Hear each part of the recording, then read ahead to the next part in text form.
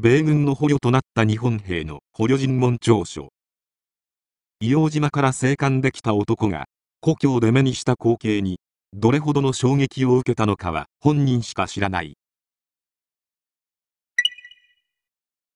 今回アメリカ国立公文書館アーカイブサーフィンで巡り合ったのは旧日本陸軍所属の B 注意当時バツバツ祭の捕虜尋問報告書です。B 注意は1945年4月23日に硫黄島で米軍の捕虜となりました。まず一通り経歴を質問されそれに基づき細部を詰められていく流れのようです。B 注意の場合主要な経歴が彼の地元だったためこの後起こることを知っている者としては考えさせられると言いますか。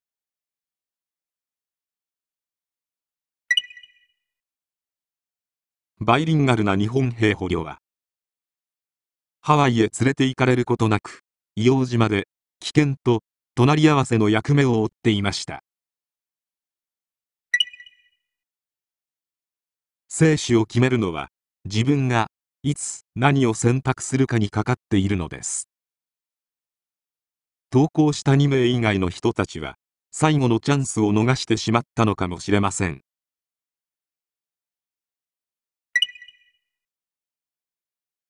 B 注意は私の記憶に新しい港から出発しています。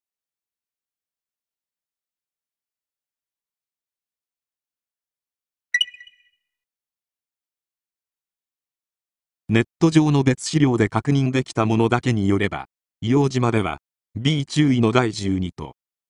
第8は全滅とされていました。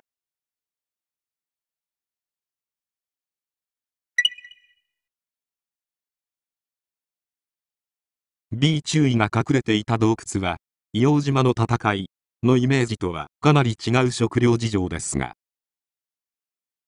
そんなところが降伏しなかった兵士がいた理由の一つだったのでしょうか。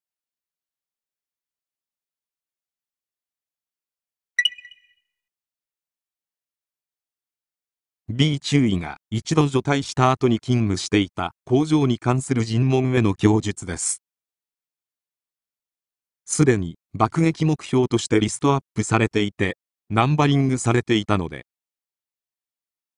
この工場の航空写真等資料は揃っていたのでしょうが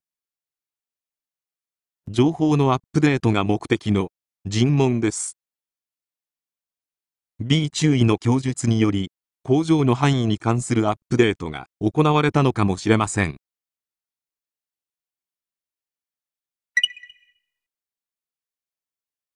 この都市の特殊な事情が影響しているのか。B 注意が勤務したことのあるこの工場は米軍に直接爆撃されることなく終戦を迎えたようです。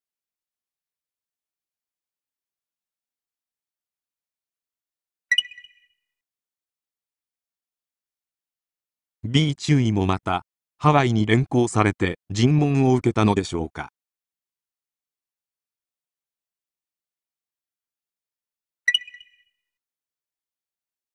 降伏したのは日本人の捕虜による説得も効果があったのでしょう。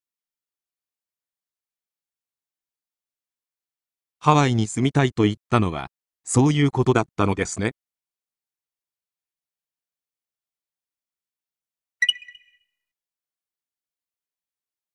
今の日本ならあることないこと宣伝ビラ効果は絶大かもしれません。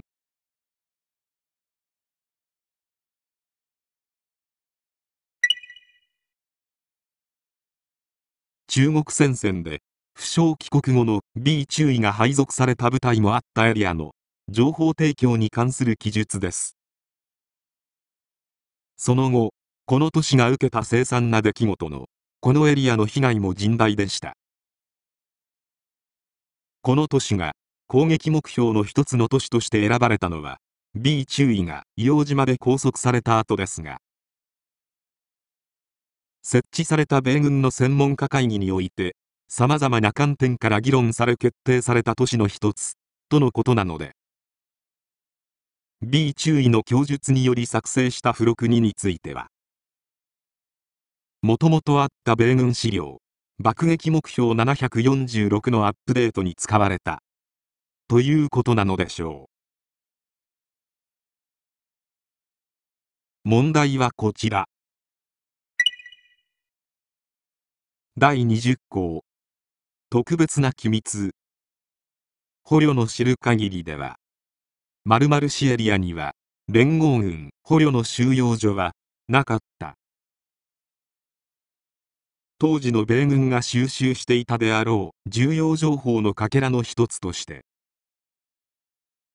B 注意のこの供述は利用されたのかもしれません。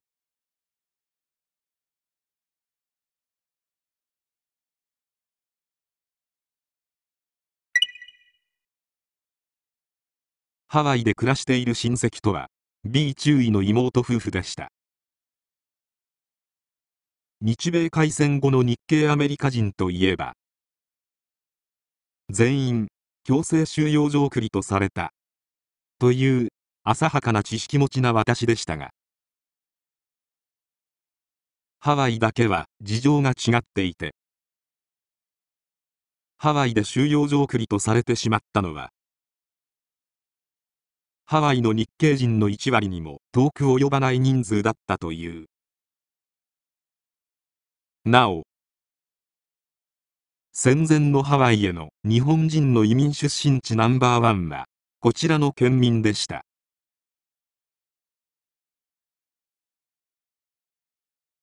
「B 注意の供述による2箇所の平面図です。この捕虜尋問報告書からわかる B 注意に関することはここまでです。しかし。当然ですが B 注意の人生には続きがあったことでしょう。